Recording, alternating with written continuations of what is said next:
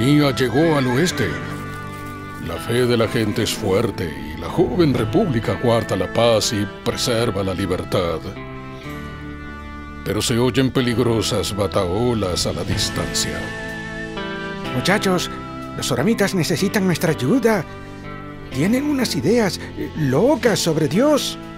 Y parece que se quieren juntar con unos salvajes lamanitas que quieren derrocar a nuestro nuevo gobierno. Podríamos no hacer nada, pero sus almas son de valor. Sí, es una misión de rescate espiritual. ¡Cabalguemos! Alma emprende la marcha con su cuadrilla de Amón, Aarón, Amulek, Sesrom y otros para probar la virtud de la palabra de Dios y traer a los oramitas de vuelta a Jesús. Pero ni estos super misioneros se tropezaron jamás con gente tan feroz.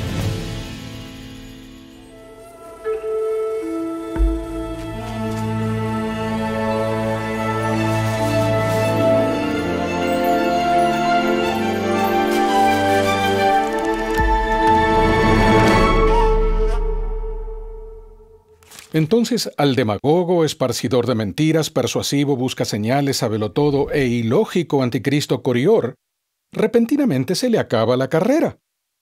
Pero en la sinagoga soramita, Alma y Amulek descubren que otras ideas falsas han echado raíces.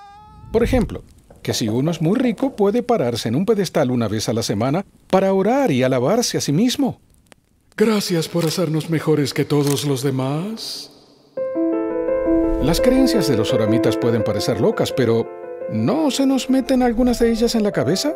Por ejemplo, adorar solo en determinados lugares en vez de adorar a Dios en todas partes, repitiendo y repitiendo la misma oración en vez de realmente comunicarnos con Dios.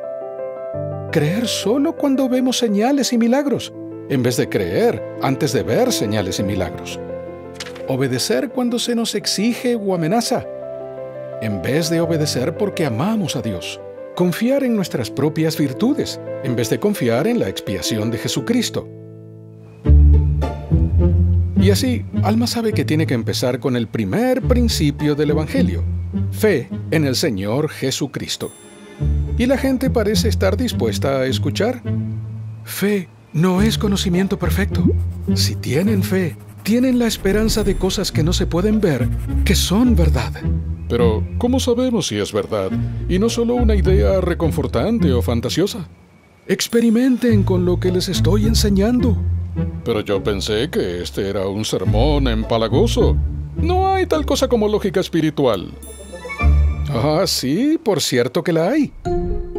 Y en el capítulo 32, Alma da un genial sermón científico sobre cómo hacer crecer la fe y saber que lo que uno espera es verdad. Alma nos invita a empezar con una partícula de fe. Suena científico, ¿no? Y plantarla en el corazón, como una semilla. ¿Cómo la plantamos? Con tan solo tener el deseo de creer. Entonces, a menos que la desterremos o que resistamos el Espíritu de Dios, si somos pacientes y nutrimos la semilla, cual un científico en un laboratorio, Alma nos dice que sucederán cuatro cosas. Uno, la semilla nos hinchará el alma. Dos, iluminará nuestro entendimiento. 3. Ampliará nuestra mente. Y 4. Será deliciosa. Podemos repetir este proceso de la semilla con más enseñanzas de Cristo, hasta llegar a gozar de los frutos de la vida eterna. Después de su increíble sermón, Alma y Amulek siguen enseñando a la gente con la ayuda de los escritos de antiguos profetas como Senos, Senoc y también Moisés. Senos oró a Dios donde quiera que estuviera, en sus campos, en su casa, en su habitación, en la iglesia, en todo lugar. Los antiguos profetas testificaron del Hijo de Dios. El plan eterno de Dios para sus hijos se centra alrededor del gran sacrificio final, el sacrificio infinito y eterno de Jesucristo. La más importante de las semillas con la que hacer ese experimento es la expiación del Señor. Amulek enseña que podemos nutrir esa semilla con mucha oración en favor de nosotros y de los demás. Y podemos mostrar nuestro amor ayudando a los necesitados, con nuestro tiempo, esfuerzos y dinero si lo tenemos. Y por último, podemos arrepentirnos, cuanto antes mejor. ¿Aceptan los oramitas estas enseñanzas? Eh, muchos de ellos sí. De hecho, cuando los tercos oramitas se enteran de esas conversiones, las cosas se ponen difíciles y los convertidos son expulsados. Entonces van a vivir en la tierra de Gersón con los lamanitas que años antes habían aprendido sobre Jesucristo de Amón. Pero los oramitas están tan furiosos que los nefitas deben ir con sus ejércitos a Gersón para llevarse a los nuevos cristianos hacia el norte. Claro que Alma está deleitado con que tantos oramitas hayan experimentado con la semilla de la fe, pero también está muy apenado de que tantos hayan rechazado a Jesucristo y también las bendiciones de libertad en su país. Puedes ver más de esta historia en el video de Living Scriptures titulado Alma y los Oramitas. Alma le preocupa que se desate una guerra y también le preocupa a un joven capitán de nombre Moroni.